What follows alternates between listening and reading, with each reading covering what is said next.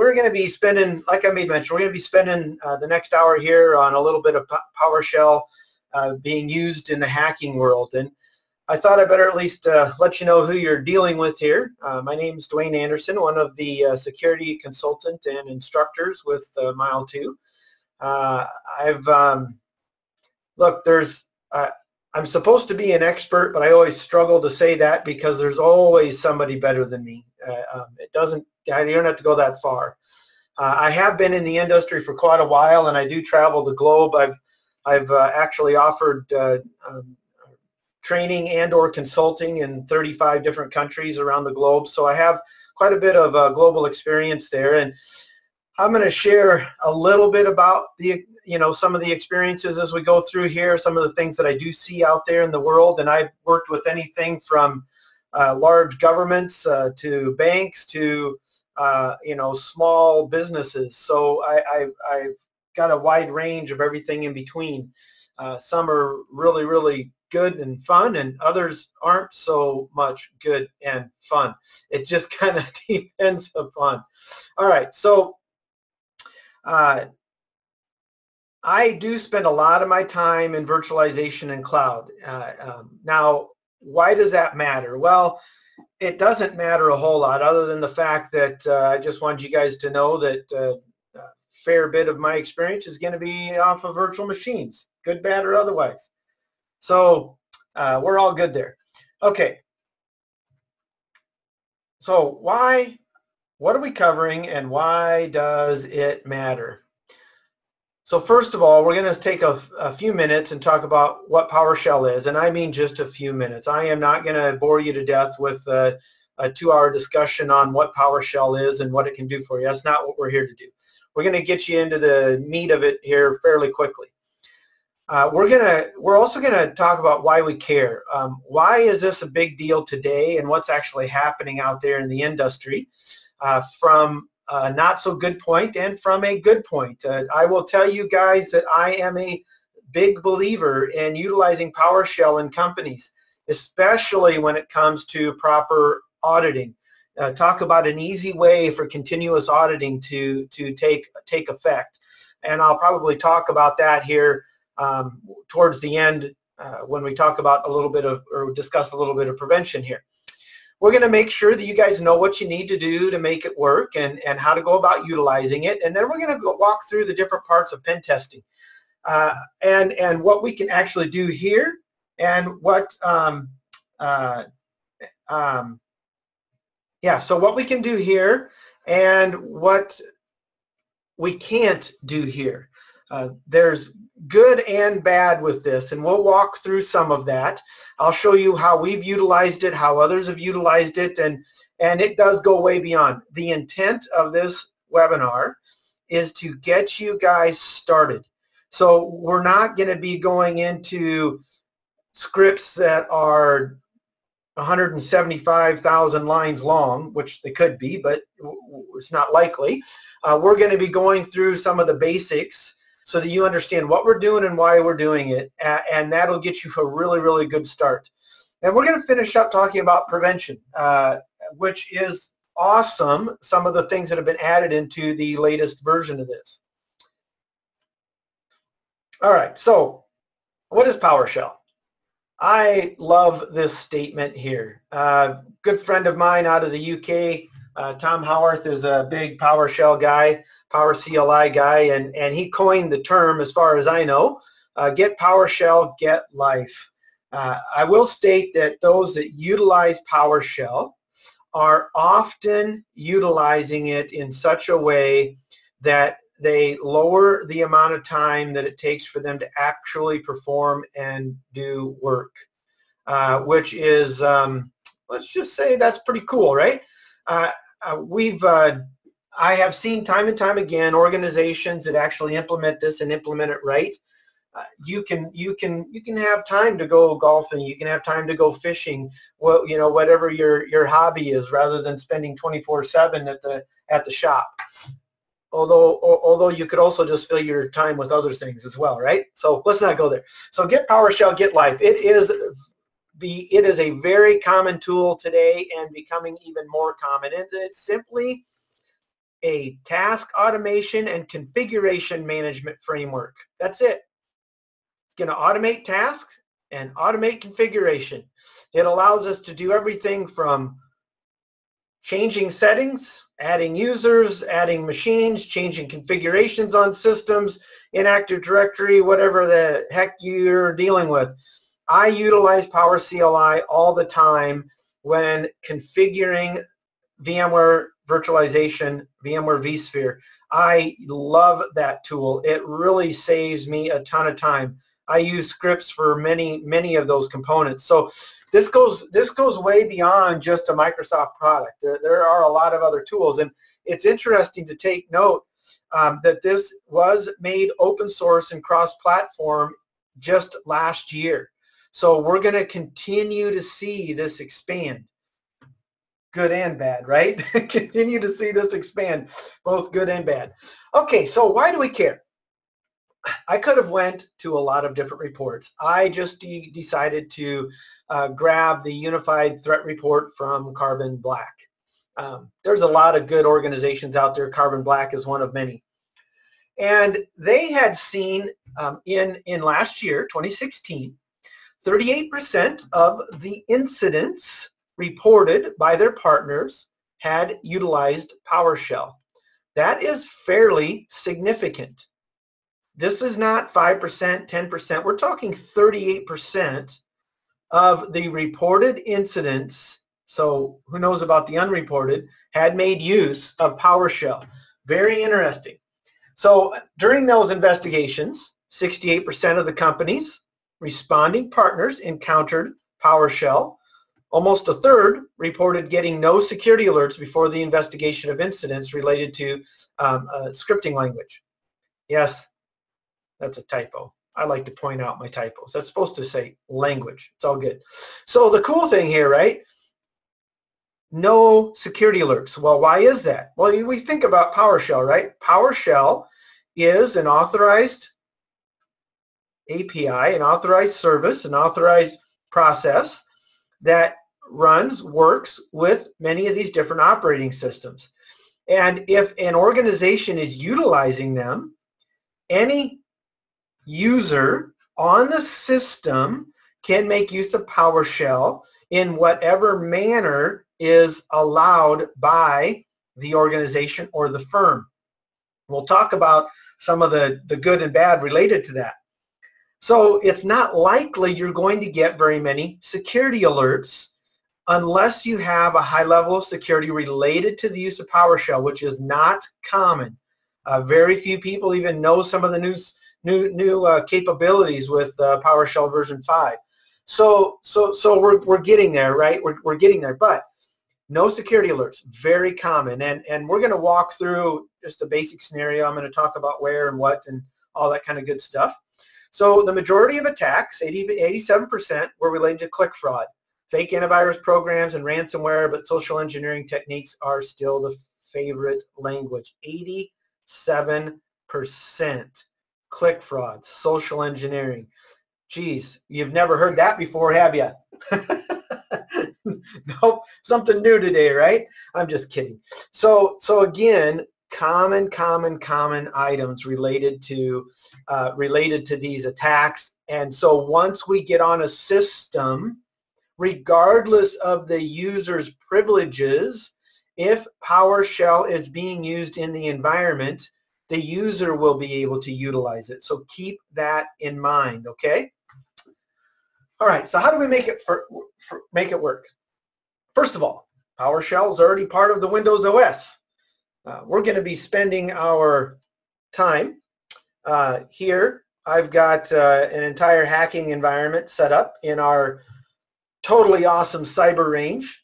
I'm, I, okay, I think it's totally awesome. It's a fun place to go to be able to hack and be safe. Um, all of these systems are isolated. They do have internet access, but they're isolated. The only place they go is to the outside world and back in. Uh, and then they can, of course, pick on each other all they want. Now, we're going to be spending our time, I've got a, a Windows 10 VM that we're going to be utilizing. Windows 10 has PowerShell built, built into it, right?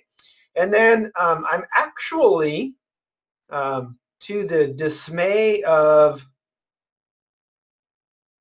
one of my colleagues, I'm actually going to be doing a bunch of enumeration information gathering out of this Active Directory um, that we have set up for most of our classes.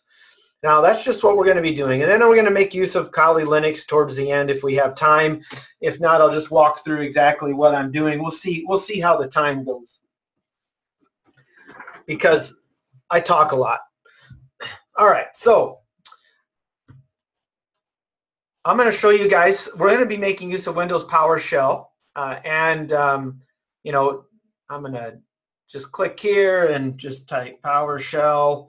Now, Windows 10, Windows 8.1 uh, comes with uh, Windows PowerShell, both the 32-bit and the 64-bit, uh, and uh, PowerShell ISE. Now, I like PowerShell ISE only because I can run multiple different um, programs all in one. I'm not a big guy making use of functions. I'll talk about that later on. You can write your own little program script as a function uh, that uh, that you can run uh, from command line, you know, with a dot backslash and away you go. I think that's right. I always get the backslash and forward slash mi mixed up, but you know, once you make a mistake once, you figure it out. So that's where that's where we're going to be spending our time here as we go through this. So it's all built in. That's always good, right? We love the fact that it's built in. You need a user account. Now, one of the things that's that's a little dangerous about PowerShell, in my in my opinion, is that you do not have to have administrative rights uh, to make use of PowerShell. Um, a user can make use of PowerShell if it is if it is set up to work. Now, there's going to be restrictions on PowerShell based upon uh, whatever security, if any security mechanisms you have in place, and we'll finish up talking a little bit about them at the end of the session. Now, this is important. So if me as a hacker is going to make use of any scripts, uh, we're going to need to either utilize remote signed or unrestricted. And, and we'll go through, uh, I've got that in the next slide, but I'm just going to talk a little bit about that. There is, um, uh, um, you can allow none, no scripting. You can allow all signed scripts, meaning they're going to be signed based upon a, a certificate or, or, or, a signature mechanism that you guys utilize. You can use remote sign, meaning that they can be scripts that are signed by any, any place that can be verified. Now that's also dangerous if the systems have internet access because I can sign my own scripts and have them be validated and verified by uh, uh, my own CA. Uh, so as a hacker, that's not a big deal. But I most commonly see companies that are utilizing PowerShell. They utilize the unrestricted scripts. And it's real simple. Individuals that love and use PowerShell are constantly improving the scripts, are constantly changing the scripts, adding new ones. It is a real pain in the backside to go through the signing process on every single little change you make inside of a script. So I don't see it limited very often. I see it unrestricted more often than not. Now, I will tell you that in the banking in industry, most banks, not all, but most banks do have them signed, especially when we're getting into specific areas um, they will require them to be signed or on specific systems. Now, the thing, thing is, is that some people might say, well, we're not going to allow unsigned scripts to run um, in, um, or unrestricted scripts to run against particular systems. So we're going to reduce that. And that, that is a benefit. That will help some, but that is not the common. That is not the norm because of the difficulty or the time it takes. It's not that it's really hard, it just takes time to go through that signature process. Now, an administrator does have to set that up. You have to have administrative rights in order to set it up for uh, um, remote signed or unrestricted. And, and um, that's normally done. We, as a hacker, we wouldn't have to worry about that anyways. That's already done and set up and part of the in, entire process or system. So it's all good. They would also need to add the remote server administration tools. Now, that is only true if we want to make use of some of the items that I am going to demonstrate today. There are pre-built in uh, um, pre-built modules already installed, but many of them take administrative rights to run. What I am demoing for you guys today does not take administrative rights in order to get the information. We're actually going to be querying an Active Directory for a ton of different information to see what we can find within the environment. So you do have to add the remote server administration tools, which is quick and easy to download, and there's a quick link for you to, to go and grab that. And like I said, we are recording this, so we will um, uh, make this available for you guys after um, and sometime later later this week after we get everything set. So how do you how do you use it? It's built into Windows, so it's I think it's fairly easy. You'll you'll first be you know so we're talking about us setting up a demo environment. Uh, if if you're already hacking into some places, that's a different story. Okay, maybe I shouldn't use hacking, right? Because that would be illegal everything that we're doing today, you do have to have authorized rights to do so. Uh, um, the, some of the first components are fine because it would be if you're an admin, you're not doing anything illegal in these first, uh, uh, first components that we're going to walk through. Now, when we start um, putting a reverse shell on or, or, or something of that nature, well, that's a different story. So you, you log in as an admin or you file, fire up PowerShell with administrative rights, and then you just simply type set execution policy unrestricted. Now I've already done that. Not going to go through that again, but that's all you need to do. And that is fairly easy, simple, and well, common, all right, fairly common. Then we download and install the RSAT and it's a simple download. You double click on it, installs. Now we're ready to go and we can move on. Now normally these items are installed on a bunch of different systems out here. Um, now I will also tell you that um, this scenario assumes one of two things. You have either social engineered your way onto a box already, and we and we'll walk through some of those components later on, or you have uh, um, uh, or you are an employee with general user rights on the inside, uh, and you've got a grudge, so you're you're you're wanting to do you know some damage to the company, or maybe you're a salesman and you want access to certain data that you can't get access to before you leave, and, or maybe you were a, a victim of of uh, uh of uh, a client side attack uh, utilizing clickjacking of some type, right? So there's a lot of different options out there, but we are going to need because this is you're not gonna you're not gonna run PowerShell from home uh, uh, to a system that you don't have access to. That's obviously not going to happen. So we're talking about inside of an organization uh, in, first. You got to be inside the organization first. And then we need to understand some scripting variables, and, and, and we're going to go through some of them here uh, in a moment. So we're going to walk through different parts of, uh, of the pen testing here. So first of all, can we do information gathering? Well, yeah, but for what we're doing, it's an absolute waste of time. We don't need to mess with it, okay? Uh, we're just going to go right down to enumeration.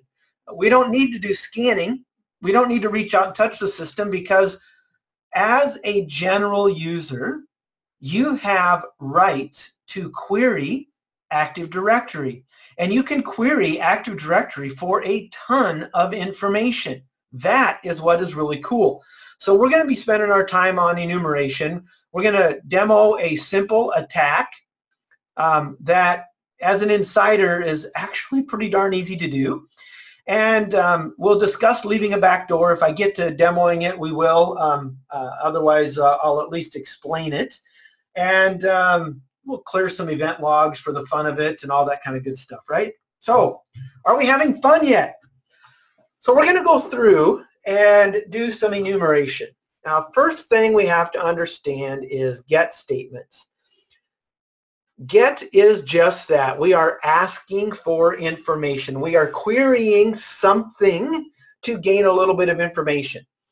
When it comes to Active Directory, any user can query the AD for said information. It's not quite the same when we're dealing with uh, uh, other systems that we may or may not have access to remotely. Uh, if we don't have rights to be on the box, we won't be able to query said box. And there's a few other things. For example, I cannot get event logs as a general user. I would have to be admin. Okay? So the uh, get statements are very important to us, and we're going to gather a ton of information to be able to demo what uh, a simple uh, a simple attack that that we've done inside systems uh, multiple times and had fairly decent success as we're learning more about it. Okay, all right. Next, um, uh, get the AD user. All right, that makes sense. We're going to gather information about the Active Directory user. We're going to gather information about the computer. We can even talk about get service. Uh, now, get service does require you to be an admin. All right, so we do have to be an admin in order to make that one happen. So before we even start getting to uh, uh getting the uh, service, we've got to figure out how we can become an admin. All right, so what I want to do here is roll you guys through a few different options as we are um, and explain what's going on so you can kind of see what we can and cannot do here. All right, so I'm in a I'm in my Windows 10 and I want to I want to point out two things. I have two different Windows PowerShell ISC items open. This one as you can see in the upper left here is being ran as an administrator. All right, so we're not going to utilize this one to start with. Okay, I am going to utilize a general user, and you know it's a general user because it does not say administrator in front of it. Okay, now a general user, as I made mention, uh, you can see down at the bottom, I'm logged in as student 100. Woohoo! So I'm the 100th most important person in the company today, which is sad because there's only 10 of us. Um, come on, that was funny. I'm just messing around. It wasn't that funny. All right, so what we're going to do here is I got some different scenarios that I've laid out. And yes, I did just uh, make it easy on myself by making it so I can copy and paste here. And I could just run the whole thing. This is a scripting tool. So I could just run all of these. I could comment some of them out and do what I needed to. We're going to start with getting user details. And that's what my plan is, is to kind of dig through this. So the first thing I want you to understand is we're running as a student 100. And I'm going to simply utilize the get AD user command. And, and the dash filter I could filter by a lot of things and I'll demo some of that. But we're going to get all of the details for every, well, not all the details. That's not true. We're going to, we're going to actually um, get all users and, and it'll return just a few details back here. So I'm going to press enter here and I'm going to let it finish. And then we'll go take a look at what I've done here. So this bottom one, let's just look at this. So we, we can see the distinguished name for an account that's not mine right? We can see that this is enabled. That's cool. The given name, service account, well, SRVACCT, right? Short for service account. Name, the object class, it is a user, okay? User. Now, scroll up here. I probably should just, uh, I think I'll wait and do and do the uh, another command another way because it'll take me too long to find what I want. We got our object, we got our SAM uh, account name, our SID, and uh, don't have a surname there, and user principal name. All right, cool. That's pretty normal stuff. I think you could have guessed most of that just being part of the organization, right? That sounds pretty normal. Well, let's take a look at more of the properties. Okay, all right, so uh, we're going to look at all of the properties here for student 25, and then we're going to see if we can take a look at the same for the administrator account, okay? There is some good information in this, and there are a ton of properties here. This is not just a one-stop shop and a small, quick item here. All right, so here's student 25. So we have, if there's an expiration date on the account, when the account uh, expires, you have to go look up those numbers because I can't tell you exactly what it means. I got to go look it up with Microsoft, so all good. The account lockout time, there isn't one right now. Uh, account not delegated. Okay, that's cool. Allow reversible password encryption. Now this is an interesting one. Uh, and you'll see that we have one account that allows for reversible password encryption, but the user didn't set it up correctly, uh, or the administrator. We'll discuss what's going on. This one's an interesting one because this actually lowers your level of encryption. Um, this makes it easier for us to um, uh, to brute force makes it easier easier for us to uh, crack the encryption utilized because it is reversible. The um, uh, so we like to look for allow reversible password encryption just because it can make it easier. There's also a tool called RVDump uh, that you can download and run that you can actually dump the uh, uh, reversible password encryption in clear text. Uh, it's a it's an interesting tool. It's not I'm not going to tell you it's the easiest thing to work, but but it is uh, it is kind of interesting. All right, so um, what else do I want to talk about here? There's a couple of other items if you have a bad password, um, uh, bad login count, it'll record those here. Notice here that the user cannot change the password. Well, that's good news for us, right?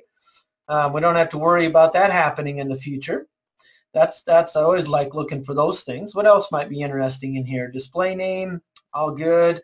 Does not require pre-authorization. Well, well, that's bad. They do require pre-authorization. That'd be kind of nice to know if there was an account that did not require pre-authorization a couple of other items I was going to point out here if I get down to them. Um, whether or not they're locked out, oh, that's good. They're not locked out. Last log off, uh, bad password attempt, last bad password attempt, at least it record, records those things. It's kind of interesting. MNS log on account. Not a big deal there. Let's see, what else did I want to talk about?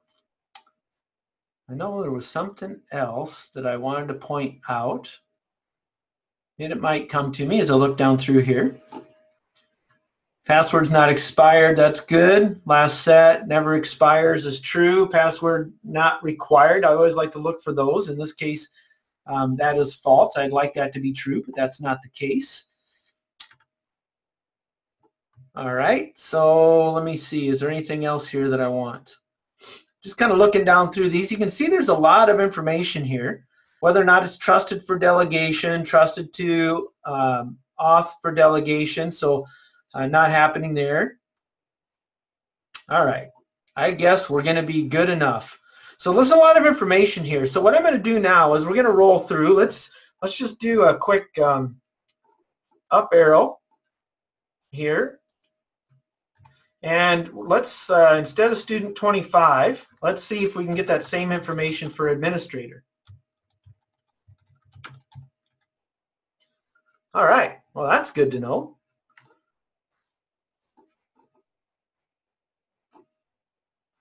User certificate, well that might be useful. Yeah, you want to uh, be able to do some certificate injection, fake yourself as the user. Uh, that might be very useful for us. Uh, let me see here.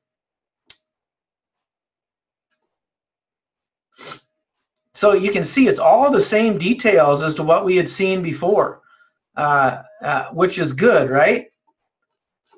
I know what I wanted to look for. Just looking to see if it's trusted for delegation. It is not. Now, we can also just do a simple one. Instead of getting all the properties, we can just get the basic items for the administrator here. So we can see that it's enabled. It's still a, uh, a, a user, yeah? SAM account name. So what we're getting at here is that even though I'm a normal user, I just gathered quite a bit of information related to, um, yeah, related related to uh, those components. Now, um, yeah, that's a, a good example as well. Uh, one of the individuals uh, um, made mention, uh, which is which is good, that uh, with the member of, we can see how much power that user actually has, what uh, what different groups they're in. Um, that's a that's a good good one to be looking at as well. I completely forgot about that, so I appreciate that. It's good stuff here, right? A lot of good information that we can gather from this. So let's go down through here and, and just talk about what's happening on these next items. So to get AD user, um, we can use this filter command, and we can filter for any of the properties that were that were listed in that long list to make our job easier. So we're going to take a look at and see if there's any users that have the password not required equal to true. Well, if there was one, that might be kind of nice, right? Oh, we got one. And of course, it's the guest account and it is not enabled. So that's going to be a waste, right? But boy, that would have been awesome if we would have found someone that, said password not required. We start thinking about start thinking about different services that some companies have running and and uh, the different service accounts. There are there are organizations that have service accounts that do not require a password due to the particular application that they have they have running. Usually they're a little older uh, in nature, but it is it is the case and could possibly be the case. So we do want to look for that. And look how hard it was for me as a normal user to go find that particular system. And of course, we don't know what they're a member of, what kind of power they have. Of course, we can see that one here. But um, uh, but you, you start thinking through the enumeration process here. We've got a lot of items here. Now, we can also do just the opposite here we can actually look at a particular user and validate its property uh, to take a good look at, at that particular user. So what happens is, is when you run this particular uh, command, we're going to get all of the normal items that we re, that we gather when you do a standard get AD user, but we're also going to add the the property password not required. So notice it did come back, distinguished name, given name, all that stuff, but it also included the password not required set to true. But uh, sadly, like I said, this one is enabled to be false. Well, I made mention that, um, uh, you know, about this filtering. I made mention about the allow reversible password encryption. So let's go ahead and do a filter for that, shall we? I'm glad you guys are saying, yeah, Dwayne, let's do that. Let's test that. All right, so here you go. We just did a allow reversible password encryption, and there was one user, that service account, that has that actually set to true.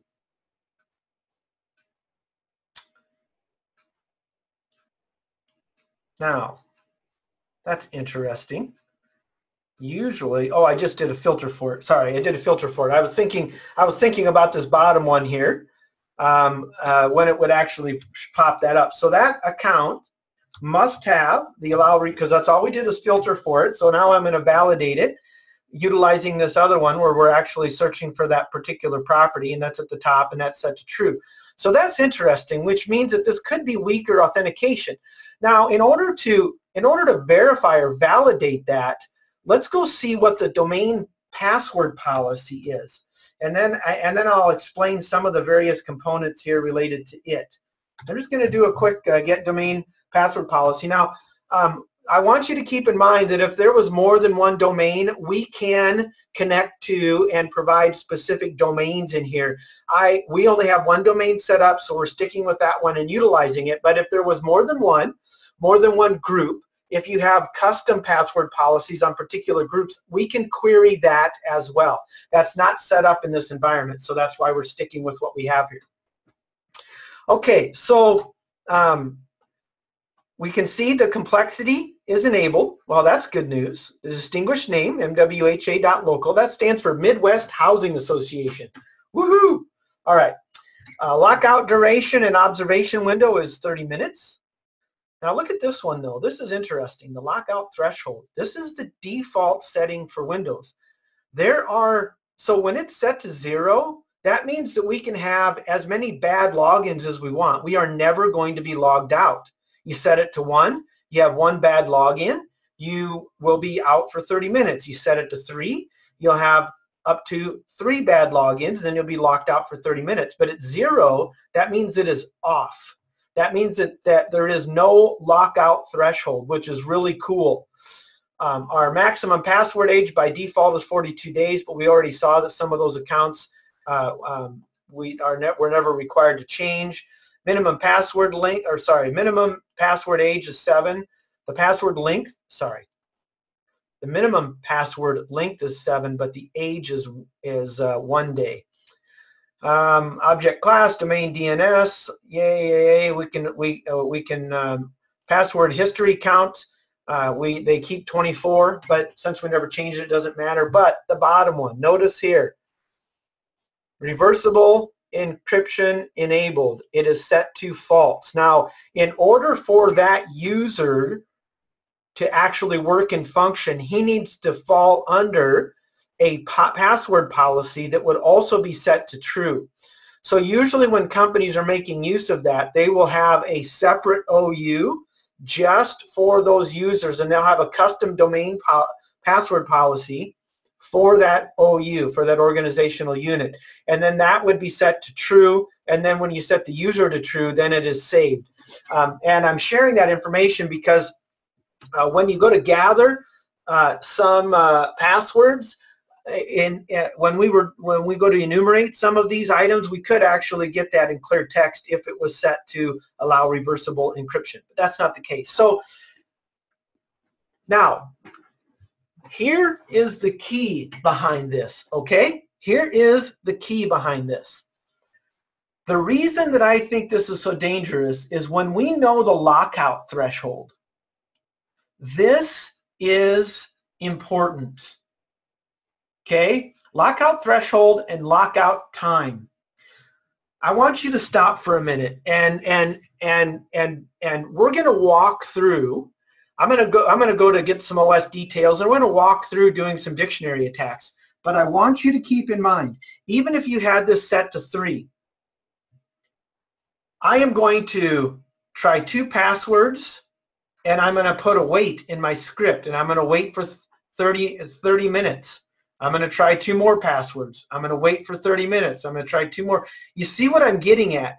Regardless of what this is set at, we can run a script for a long time and try to guess the password.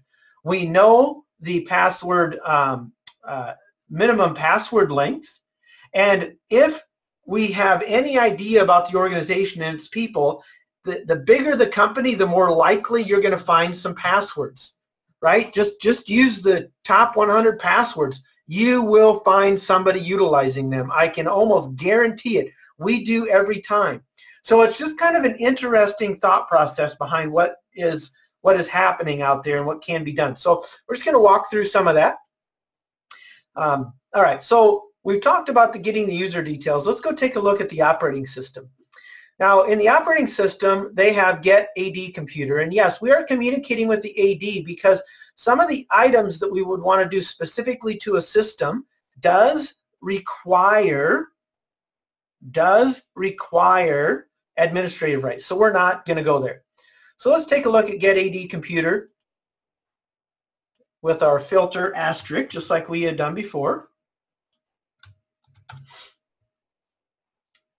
So there's a ton of computers in here. We'll just look at this bottom one because it's easy. All right, so we got the distinguished name. It is enabled. Uh, the, the, the host name. It is a computer. Nothing special there. Let's go see what else we can find out. So let's take any of these systems. I don't know what system I want. Let's do VRA-1, shall we?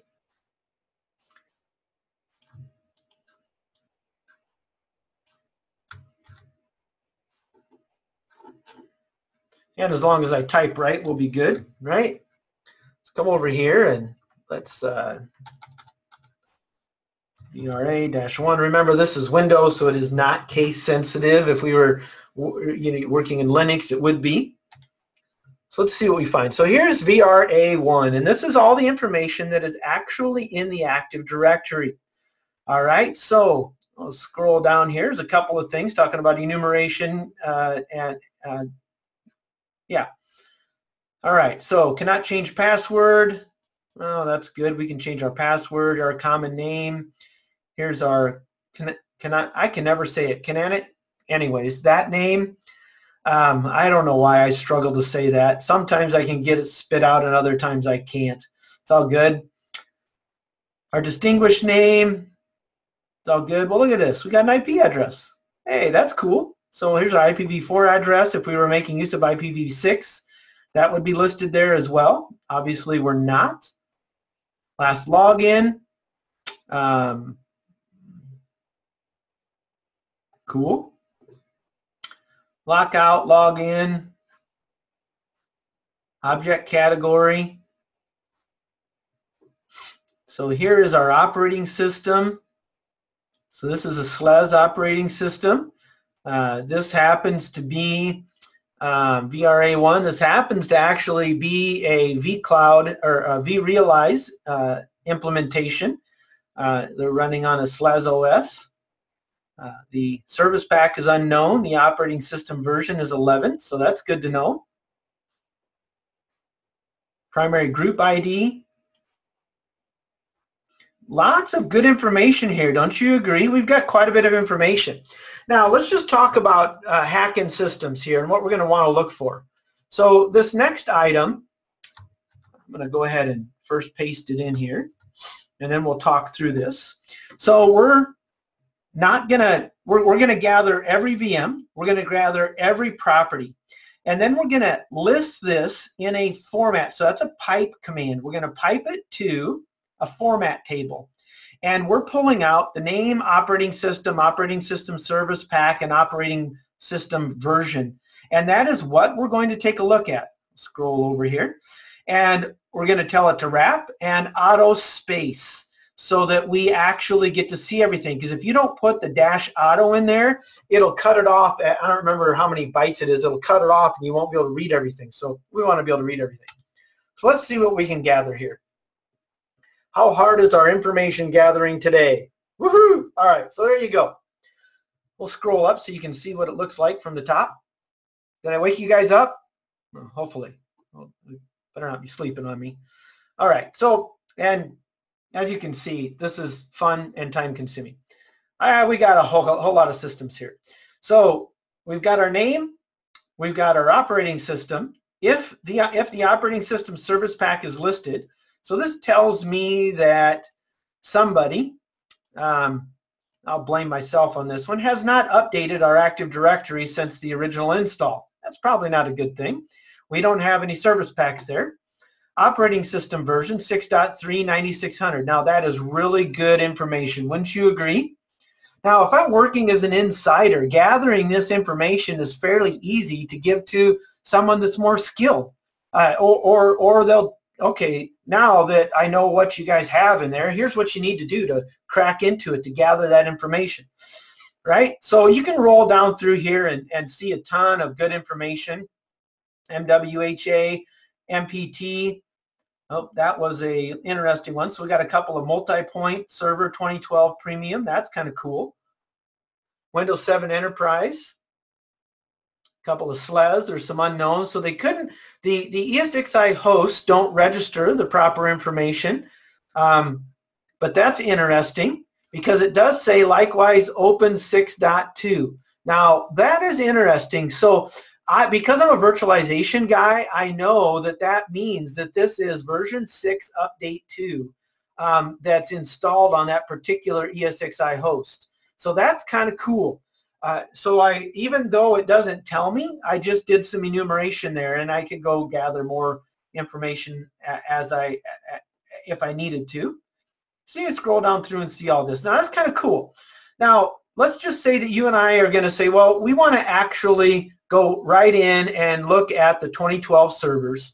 We're gonna, so what we're gonna do now is we're gonna simply do our filter for operating system equals to Windows Server 2012 R2 Data Center. And we're looking for properties, all of those properties that we had listed before, but we're only looking for that particular operating system. So there we go. Here's all those systems that have that unique operating system. Well, you know what? That's not quite enough because I need IP addresses.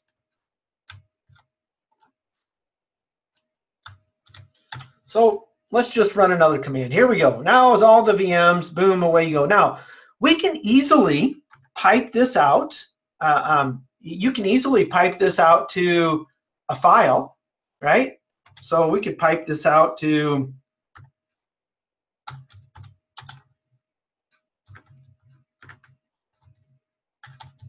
systems.txt. Mm, I could also use, I think I'm going to go CSV. There we go. And you'll see here that, I got to go back to this one. Now I've got a systems.csv file. Now, I don't have uh, Excel or any other type of spreadsheet uh, in, installed here, but I could open in Word and away we go. So you can see we can pipe that stuff out uh, pretty easily as well. All right. So we got all of our operating systems. We kind of know where we want to go, but we're just a general user and we need an administrator account now. And we can't run our get service command. Uh, we, we, uh, we can't clear our logs uh, because we don't have admin rights. So we're going to walk through a common method that's utilized for guessing passwords. Yeah, you got to love that, right? Okay, so I'm a general user. Keep that in mind. We have gathered all of this information from AD as a general user.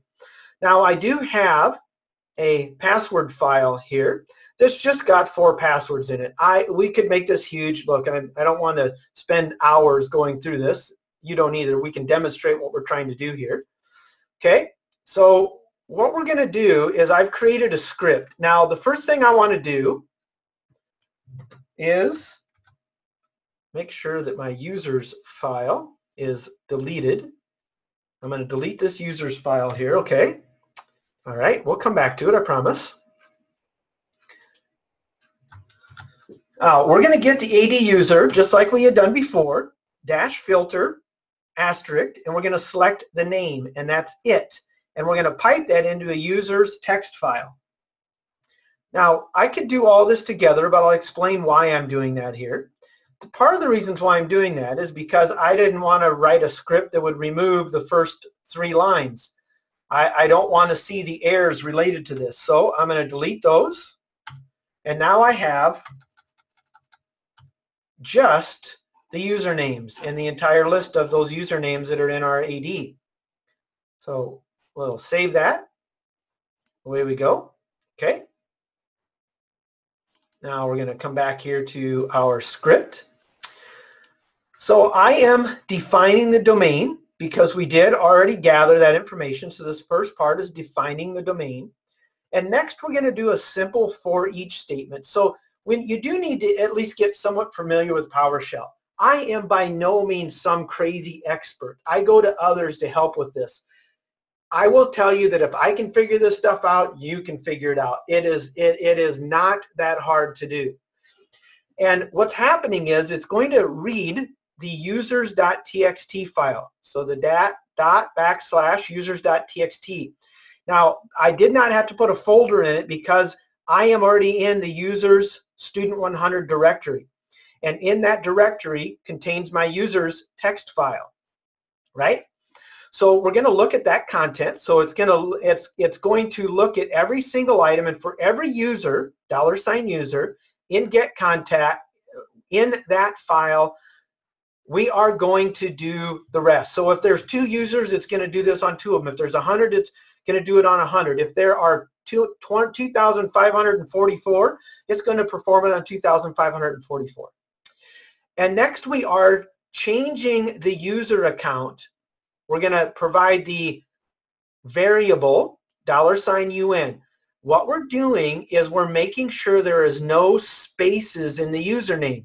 Remember, if it pulled in a space, made him, you know, which it, I'm sure it did, if it pulled in a space after any of those names, that would air out when we go to do our password guessing, right? Our dictionary attack.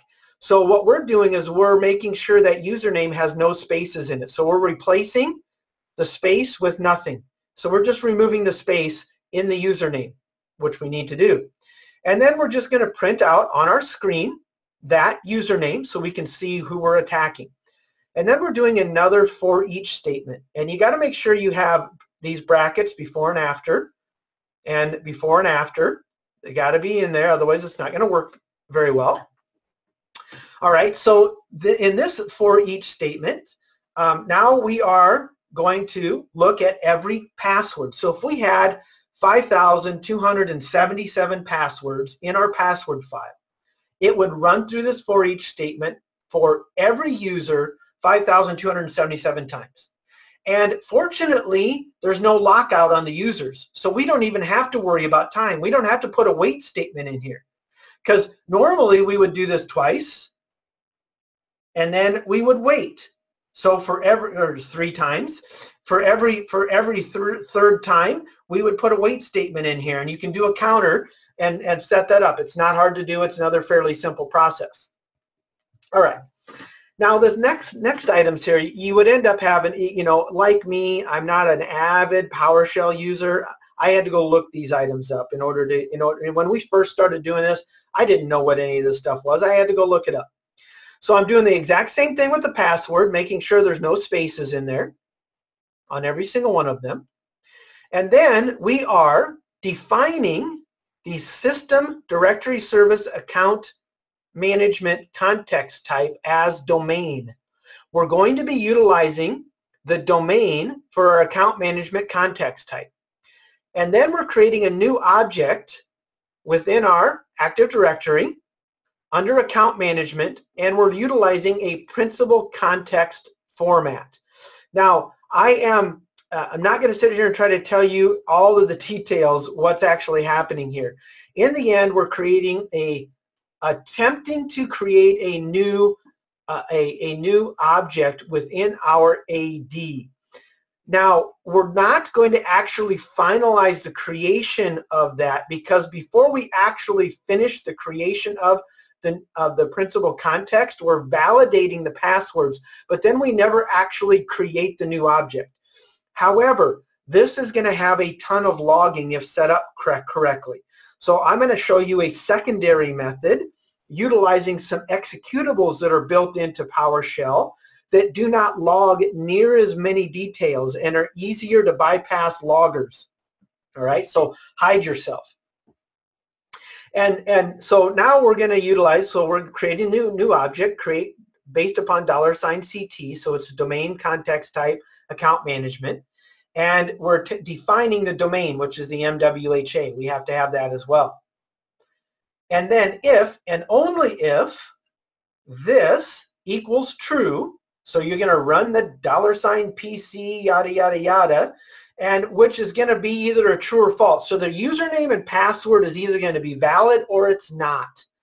And what I've done is I've created a simple if statement. If it's true, tell me it's true. Otherwise, don't do anything. That's all that I'm doing here, all right? So you got all that, right? Let's see what happens. And of course, we know what we're doing because we have it in our account, but just to show you here. So woohoo, we're testing every single account with all of the passwords in our password file. And only those accounts that have the password, that we have the correct password, does it respond. So now we know all of the different accounts that and their the user accounts and passwords. And one of the one that's interesting is this one here, the administrator account. We now know the admin account. Woohoo! Yes, this is a de test dev, or sorry, it's a pen testing environment, so of course it's an easy password. All I'm getting at is that if you know your people well enough, you can build a good dictionary file. There's a lot of good dictionary files out there. Uh, when you run this in an environment, it is very likely you're going to find some account passwords. Not all. Of course, you're not going to find all. You'll find some. The larger the environment, the more passwords you'll find. It's really interesting uh, how positive this can work. And I just did all of this as a normal user. Now, isn't that cool? Woohoo! Now, and if you're not logging or monitoring everything that's going on within uh, PowerShell, am monitoring for that, you're not going to even know this is happening. All right, now another um, script for guessing passwords is utilizing the DS query, a domain services query executable that is built into PowerShell, built into the operating system, comes with the RSAT commands. Uh, and this is a slightly different way of gathering the information from Active Directory. These executables are designed specifically to do a ton of different information for us related to gathering, changing, editing, whatever it is we want to do uh, within AD. Now, this was actually designed before the AD commands I just demonstrated. Uh, so uh, uh, administrators have been utilizing these for quite some time. Now, we can do the same thing here on this DS query, uh, outputting it to user.txt. Now, I'm going to go and um, delete my user.txt file now. Well, that's users. What did I name this one? Oh, still the same thing. So just going to delete that so I don't have any issues. All right, and then again, another for each statement, and we're getting that content. So the exact same thing we did before, except now we're actually going to be utilizing the ds get command. The ds get command is slightly different. So when, um, uh, let's just do a, let's do a quick ds get and we'll just use user administrator um, okay because now why did that just fail I was just going to try to do a simple oh wait a minute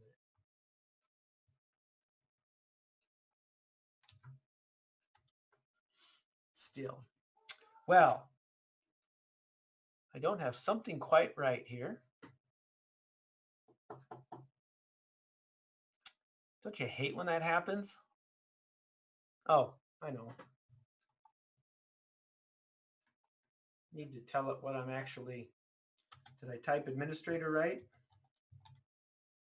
Still don't have something right. Well, maybe I'll just run the command and make it show you. I went through all of this before and now my mind went blank on me. So typical components. Got the script run, did all of this ahead of time, one item at a time, and of course I'm going to have issues. The DS query is querying for the users on the local domain. And then we're going to utilize the ds-get command for a specific user, gathering the SAM ID. Um, I know what I'm doing. So DS query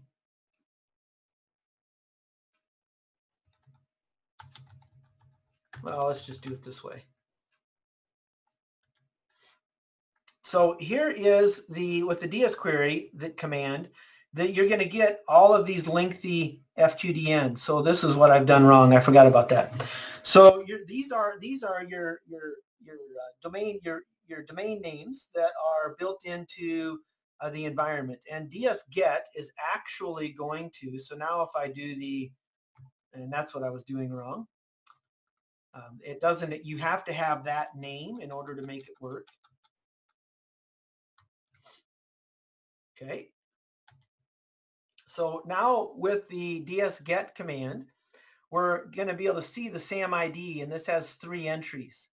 Now, the reason I wanted to show you this, and I forgot to run the DS query first, I apologize. So the, um, uh, the reason I wanted to show you this is so I could explain what was happening here. Now that we have the SAM ID, the SAM ID actually produces three different results.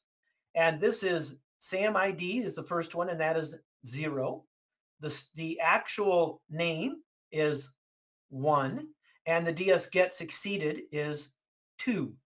So when we look at assigning a particular variable, we want only the username student49. So we do not want 0 or 3. We just want number 1. And just like we did before, we're going to replace the spaces with a null. We're going to write out that SAMID so that we can see what it is. And then for every password in the get content, so just like before, going through that same process, but now we're utilizing dsget, which is not logged in PowerShell in the same manner. There is a there. This is a different component. We're not trying to add um, any new objects. We're simply getting the user items and validating verifying that they are who they are. Now what happens is, is that we're just going to null this out so it's not going to produce any information, but we're going to be able to utilize um, the final code, which is could be like an error code, the null code, true or false. And anything that produces a true, the dollar sign question mark, is going to write out and give us the information. This is just a slightly different way of producing the exact same stuff. So here we go. And now it's testing. In this case, it, it tells us every account. Those that we guessed, it, it produces the password, and those that we didn't, um, it doesn't produce the password.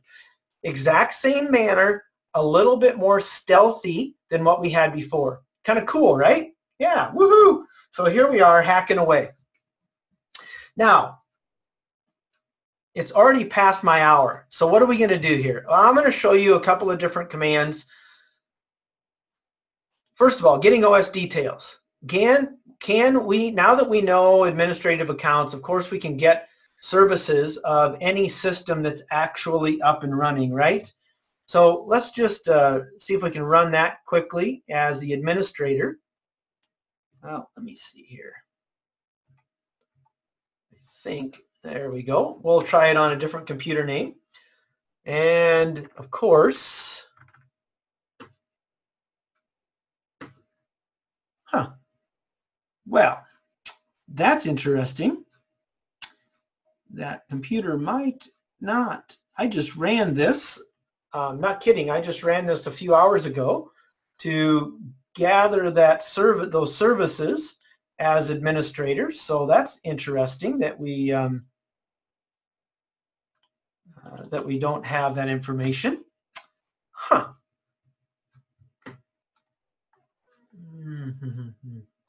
Well, let, let's go ahead and uh, isn't that interesting? So maybe I need to open this again as a try to get the event log for that system. See, it's not, not allowing us to run it all of a sudden. So I am going to uh, actually close this off and we're going to open a new one as administrator.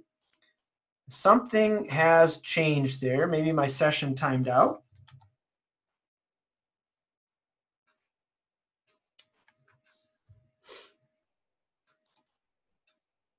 So we'll go ahead and do that because remember we do know the administrative username and password.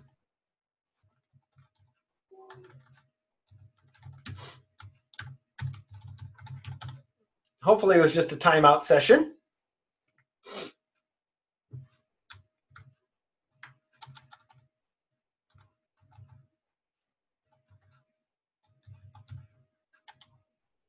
There we go. It was just a timeout issue.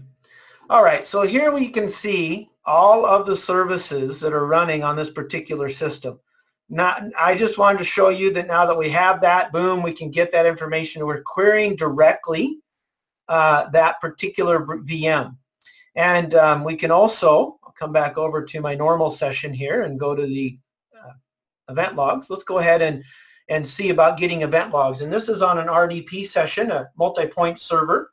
We're just going to gather that information quickly.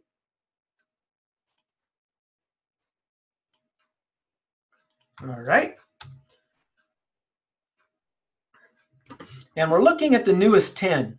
So here's the newest 10 uh, uh, security logs that have been in there in that particular time. So we take a look at at the time frame here, June 27th, 1004, 1004, 1003.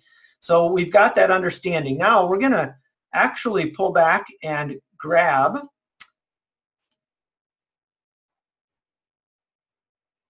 we're going to clear now these event logs and see what happens, shall we? Hiding our tracks. Gotta love that, right? All right, so it says that it finished because there was no errors. So let's see about getting those. Wow, look at that, 1006 instead of 1004. So you start seeing, okay, those uh, um, uh, quite interesting. Now we only have, and if you, an account was logged off, logged in, so we can see that things have changed a little bit here. And the only logs on there are the latest, newest logs related to uh, what we had just performed here. So, um, and we could go back and, and, and mess around with that. All I'm saying is that this allows us to do it because we're administrators. We had to get to an administrative session. Now, I'm gonna, I don't have time to show you everything here, but I do want to walk through uh, setting up a persistent backdoor. So enumeration, not a problem. We're, we're doing all kinds of fun getting usernames and passwords without getting caught. Um, now, leaving a backdoor, built into Kali is a little known set of tools called PowerSploit. And what, what PowerSploit allows us to do, now we do have to have access to a system.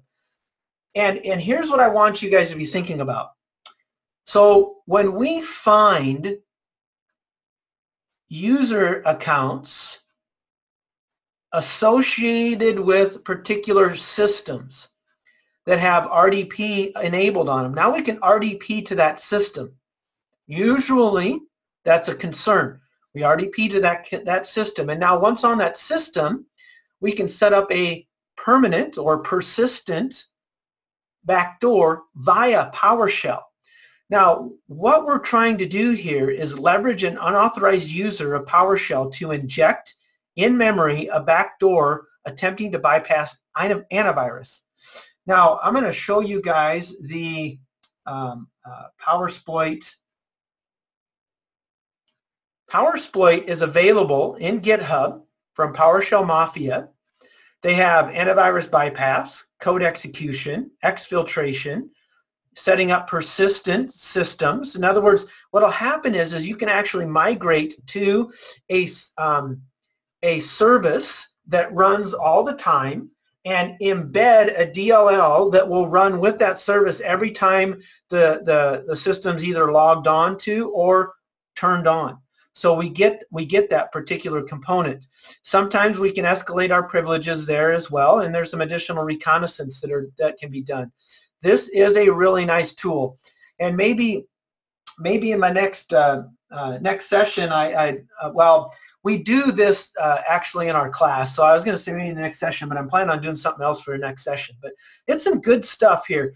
Uh, and and it's not hard to do. You use MSF Venom from from uh, Metasploit to create your package, upload it, download anything you need in memory. So we're running in memory, which can bypass antivirus. And we actually do antivirus bypass in our course, but I think in our next session, uh, next month, we'll actually do be, be doing an antivirus bypass session. So that's what we're going to try to do in our next session. We don't have the date or time yet. I'll get to that in a moment. Just be thinking antivirus bypass is what's coming up. All right, so uh, um, PowerShell Mafia with PowerSploit, some good stuff.